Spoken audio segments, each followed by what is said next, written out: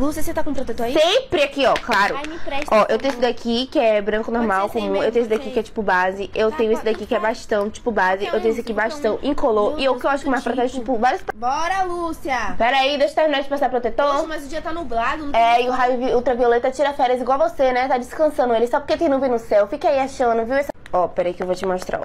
Tá vendo essa idosa aqui? Ela passava protetor só no rosto, esquecia do pescoço. Aí o pescoço ficou todo enrugado e o rosto ficou lisinho, velho. Tipo assim, ela deve ter uns 70 anos e o rosto de 20 anos. O sol hoje tá forte, né? É, tá mesmo. Tá uma coisa de doido. Quer um protetorzinho, não? Quero não, um protetorzinho tá lá pra proteger a Não, pele? quero não. Quer não? Vai, sim. Protetorzinho. Protetor. não. Vai passar sim protetor solar. Odeio passar protetor solar. Eu também vou odiar sua cara daqui a 20 anos. Parecer um dragão, meu filho. Vai parecer que fez a harmonização facial ao contrário. Cheia de mancha, cheia de, de verruga, cheia de. Oi, Que gente. isso, véi? Por que, que tem um avatar no meu carro? que foi, Ana? Seu olho tá doendo? Que olho, tá doida? Eu coloquei um piercing. Mano, Ana colocou um piercing. Que? Ela botou um piercing, velho. Eu quero botar um piercing também. Ele vem com agulha desse tamanho assim, ó. Aí ele vai furando, furando, furando, e do nada, pá! Aí você vai sentir sua pele começar a queimar. E dói? Demais!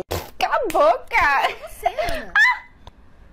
Piercing! Amiga, desculpa, desculpa. Tá doendo muito. Deixa eu ver. Tudo bem, de boa. Mano, vocês viram o tamanho da espinha da Ana? Tá enorme. Que espinha, você é idiota, é um piercing. Nunca viu, não? É uma espinha. Tá bando de criança. E qual foi a reação da sua mãe? De boa, ela adora piercing. Ela que me levou pra colocar. Sério? Do seu pai? Ó, aí já foi um pouquinho mais complicado, mas hoje ele adora, ele gostou. Bom. Professora, posso ir no banheiro? Agora, Ana. É porque eu preciso limpar o piercing. Tá, pode ir. Obrigada. Quer ajuda, Ana? Eu te ajudo. Meu nome é Chicletina. Desde o dia que fui criada pelos deuses da goma, sou treinada para ser uma boa chiclete. Soldados, vocês têm uma única missão: entrar na boca do ser humano, liberar açúcar e serem lançados para fora, atingindo a liberdade. Porém, também tínhamos o medo. Cuidado, soldados, se vocês forem engolidos, passarão sete anos em um lugar sombrio chamado estômago. Meu Deus. Então chegou o grande dia de exercer a minha função no mundo. Quer chiclete? Valeu, adoro esse. Que foi? Ah, engoli o chiclete. Ixi, você sabe que o chiclete vai ficar colado no seu estômago por sete anos, né? Ei, tá parecendo minha voz, isso é mito, véi. Eu fui engolida e não podia acreditar que isso tinha acontecido comigo. Eu tô. No estômago? Eu precisava fazer algo. Então peguei meu armamento. Liberdade. Ai, pisei no chiclete! Ai, meninas, tô olhando aqui o álbum de vocês de criança. Que saudade. Ó, Vitória, esse aniversário de um ano. Nossa, quanta gente que tinha nessa festa? Ixi, umas 500 pessoas, viu, minha filha? A gente comprou um bolo desse tamanho pra dar pra festa toda. E o meu, mãe, tem foto aí? Tem, tem sim, ó. Peraí. Aqui. Pô, não tinha ninguém, véi. Como assim não tinha ninguém? Tinha eu, tua irmã, teu pai, tua avó. Tem alguém mais importante? Não. Olha essa viagem que a gente fez pro Hotel 5 Estrelas, na frente do mar. Ó, Vitória, você pequenininha na areia. Ah, eu lembro, tinha um tobogã massa. Depois que eu nasci, ninguém mais viajou. Quem não viajou? O quê? A gente foi pra casa de tia Dulce ano passado, Ana Clara. É super chique, mãe. Tia Dulce é um amor de pessoa. Oh, seu primeiro presente de Natal, Ana Vitória. Ai, eu amava essa boneca. Ah, eu tive uma dessa também, mas veio com o olho faltando. É, ó sua formatura, Vitória. Peraí, você disse que tinha comprado esse vestido pra eu me formar. Comprei, na mão de sua irmã. Por isso que ficou gigante em mim, né? Para de drama, ficou ótimo. Ana Vitória teve muito mais coisa que eu. Na época dela era só ela. É, vou me mudar de família pra ver se eu sou filha única também. Ô, Luzia, por que, que seu cabelo tá todo grudado assim? Ah, ele fica assim mesmo quando tá oleoso. E por que, que ele tá oleoso?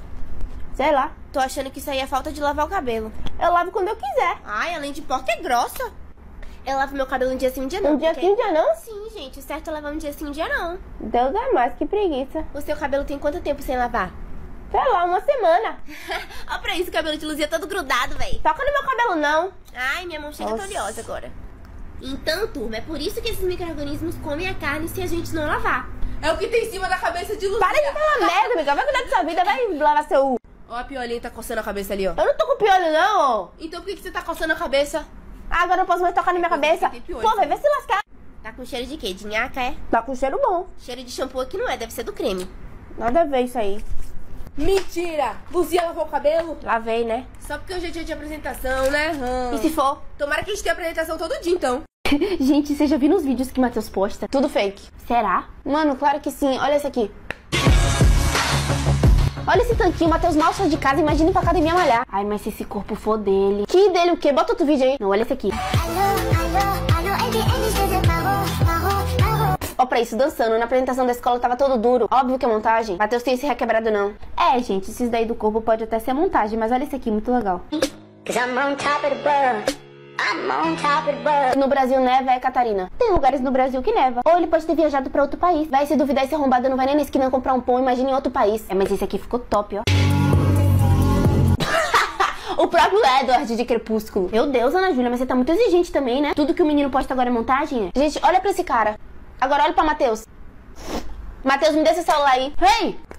Tá vendo que eu disse? Ele usa Hello Face. É um aplicativo que dá pra você botar sua cara em qualquer corpo. Pô, Ana Júlia, para de me explorar. Anja Sheila. Oi. Você está pronta para se tornar uma anja da guarda. Ai, não, mano. Sério, eu tô emocionada, velho. Parabéns, Sheila. Ai, que lindo. De qual criança será que eu vou cuidar? Não. Não, gente, essa menina não. Não, gente, pelo amor de Deus, sacanagem. Nasceu já, menina? Cadê? Nossa, que exótico. Ai, gente, até que não é tão ruim assim. É bonitinha a menina, né? A minha filha é um amor, quase não apronta. É porque quem cuida sou eu, né, minha senhora? Não é você. Enquanto você tá aí botando pop em dia, a menina tá botando o dedo na tomada. Sai daí também. Santo anjo do Senhor, meu zeloso guardador. Se assim me confiou, mas não queria ser confiada de não, viu, Tamires? Que você é cansativa. Tchau, mãe. Tô indo pra festa da faculdade. Eu vou ter que ir também, é? Ô, Tamires, se a gente voltar 4 horas da manhã, eu vou te deixar sozinha. Vou voltar antes. Se alguém botar substâncias ilícitas na sua bebida, eu não vou ver. Nossa, Tamires, coitado do seu anjo da guarda. Deve estar um caco. Que bom que não existe, então. Agora eu quero ver você sobreviver sem mim. Ai, caiu alguma coisa na minha cabeça. O que, que você tá fazendo? Tô aqui procurando a palavra no dicionário. Pai, é só pesquisar a palavra. Me fala aí qual é. E nada, minha filha. Aqui, ó, dicionário de verdade. Aqui foi estudioso que colocou. Aí na internet você não sabe quem botou. Resposta rápida. Alô? Pai, cadê você? Eu vim aqui no banco pagar as contas. Meu Deus, paga online. Pro dinheiro ir parar não sei aonde? Não, Deus me livre. que foi? Você viu o acidente que teve aqui perto? O acidente de caminhão? Como é que você sabe? Já faz umas 10 horas que isso aconteceu. Ué, mas o jornal acabou de chegar, minha filha. E você deve ser a única pessoa no mundo que assina esse jornal hoje em dia. Pai, a gente tá indo pelo caminho errado. Quem disse? O GPS, né? E você ainda confia nesse negócio? Sim. Ô, minha filha, eu fui nascido e criado nessa cidade. Como é que eu não conheço os lugares? Não, mas é porque aqui tá falando. As pessoas vão usando isso e vai emburrecendo. Daqui a pouco não vai conseguir nem virar uma esquina que vai ter que consultar o GPS. Pai, minha amiga mora do outro lado da cidade. O que, que o senhor tá fazendo na praia? Ah, mas aí foi você que me deu a localização errada. Gabriela, para de correr, que aqui não é lugar de correr. Minha filha, se você cair, você vai ver. Mãe, achei o Guaraná que você tava procurando. Ah, mas eu falei. Eu falei. Me dá esse Guaraná aqui. Me dá, Gabriela. Eu disse, eu já tava prevendo isso. Mãe, Hum, eu posso comprar chocolate? de jeito nenhum, pra quê? Lá em casa tá cheio de chocolate. Pô, mas é porque isso é diferente, isso é dourado. Não, Gabriela, não vou falar de novo, não. Você não me deixa pegar nada, não venho mais no mercado com você nunca mais. Não venha. Vou dar um passeio com o carrinho, viu, mãe?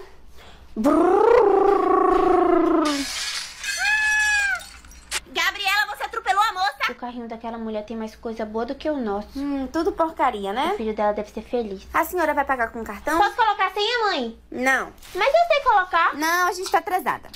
Poxa, você não deixa nada, véi. Moça, minha mãe esqueceu de colocar esse chocolate, ó. É pra passar, então. Sim, pode passar, pode passar, ela deixa. Gabriela, esse é o chocolate que eu não deixei você comprar? Não! Bora acordando. Ai, mãe, não tô me sentindo bem, não. Hum, de novo isso? Deixa eu ver. É, tá quente mesmo. Coloca o termômetro. Quase 37 graus, é. É melhor você ficar em casa mesmo. Também acho. Mas não é pra ficar na moleza o dia inteiro não, viu? Vai estudar também. Você vai se atrasar. Mãe, eu não tenho condição de ir pra escola, não. Ai, não inventa não, pelo amor de Deus. Eu não tô inventando, não, velho. Eu não tô conseguindo nem falar. Não, engraçado que todo dia é isso. Todo dia é um motivo diferente pra não ir pra escola. Oi, eu 40 graus de febre. Com 40 graus eu tava na praia catando caranguejo com minha mãe. Pelo amor de Deus, vamos, vamos, eu não quero saber não. Eu não sabia que eu tinha uma atriz dentro de casa, não. Vou colocar no teatro. Vou colocar. Bom dia, bora pra escola? Bora, mãe.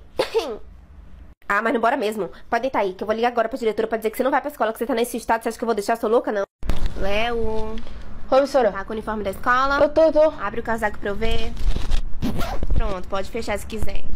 Você vai fazer educação física de casaco, Léo? Vou, mano, tá de boa. Véi, você vai molhar seu casaco todo de suor. Eu não sou, não. Isso que eu nem quero abrir esse casaco, deve estar cheio de É, CC. bem que você queria sentir, né? Gente, eu li uma reportagem que era sobre psicopata. Dizem que normalmente eles usam capuz na escola e ficam só observando. Tipo, o- Oxe, que é? eu pensei que era uma. Nada não. Tá pensando que eu vou explodir a escola? Eu sou maluco agora? Tô passando Pelo amor de Deus, mano. Léo, você tem autoestima baixa? Se você tiver tudo bem, sabe? Porque eu sempre tive também. Se você quiser, eu posso te indicar um psicólogo, alguma coisa assim. Ô, Léo. Oi. Você tá com frio porque tá 46 graus. Não, professora, é que ele nunca tira o casaco mesmo. Quem disse, mano? Eu tô congelando aqui. Ah, não é possível. Professor, você pode desligar o ar-condicionado, senão eu vou pegar uma hipotermia. Ah, não, velho. Eu, frio é relativo. De propósito, mano. Frio é relativo. Gente, quem é esse? Pronto, começou a Deixa eu ver seu braço palhaçada. aí, Léo. Deixa eu ver seu braço. Véi, acho que eu nunca vi o braço do Léo. Oxe, tá lavando o casaco, tá lavando. Que foi que tá todo mundo me olhando? Tem alguma coisa na minha cara? Na verdade tem, você colocou óculos, né? É, eu coloquei. Nossa, que top. O que, que tá escrito ali no quadro que eu não tô conseguindo enxergar nada? Ué, mulher, você não trouxe óculos? Coloca o óculos. Aí que eu fico muito feia de óculos. Ai, para com isso, coloca logo. Ai, falei, velho. Eu não vou botar. Ô, Fernanda, você fez a questão Por 2? que, que você tá me perguntando isso? É porque eu tô de óculos? Não é porque eu tô de óculos que eu sou nerd, não, tá? Você sabe que é dilatar pupila? Então, a mulher coloca tipo uns gotinhos no seu olho que você não enxerga nada. Eu confundi minha vizinha com minha mãe. Bora trocar de óculos? Bora, mas você não vai enxergar nada com meu óculos, porque o grau é muito forte. Sério? Qual o seu grau? 0,5. Ah, tá, o meu é 0,75. Nossa, você é cega, né? Professora, posso sentar na fileira da frente? É que eu não enxergo nada aqui de trás. Pode, Fernanda. Ué, mas pelo que eu saiba, a função do óculos é enxergar de longe, Dá né? pra você calar a boca, por favor? Nossa, eu não entendi nada, né, véi? Segura aqui meu óculos, por favor. Aham. Você colocou a mão na lente do óculos? Desculpa aí o atraso. Oi, professora. Desculpa que eu tive que trabalhar ontem até tarde. Aí eu fui dormir tarde, acordei Parabéns, tarde. Samuel, um trabalhador, Tem hein? que ser, tem que ser. Tá fácil pra ninguém, não. Ô, Samuel, você tirou quanto? Cinco e meio. Pô, pensei até que você ia tirar menos, tipo um 2, Mano, você acha que eu sou igual a você? Você acha que eu tenho tempo de ficar estudando pra escola? Eu trabalho o dia todo, velho. E outra, quando terminar isso aqui, eu vou trabalhar com meu pai. Não preciso nem fazer faculdade. Ui, desculpa. Você começou a trabalhar com seu pai agora, né? Foi, mano, eu comecei esse ano, mas tipo assim, desde pequenininho, ele falava que quando eu amadurecesse, ele ia me chamar pra trabalhar com ele. Ou então você vai ter que esperar uns 7 anos a mais. Cala a boca, vai arrumar um emprego hoje, Golóia. Essa palavra nem existe, idiota. Ô, Samuel, paga um bolo da cantina pra nós. Ô, minhas abençoadas, vocês acham que eu sou rico, é? Acho que você é o único que trabalha aqui. E eu vou ficar pagando bolinho de cantina pra vocês que não faz nada da vida? Eu, ralo o dia inteiro. Coisa- Eu faço muita coisa, mas não ganho Ah, dinheiro. vou ficar bancando vocês agora, vou bancar a sala toda. Véi, trabalhar deve ser É, difícil. velho,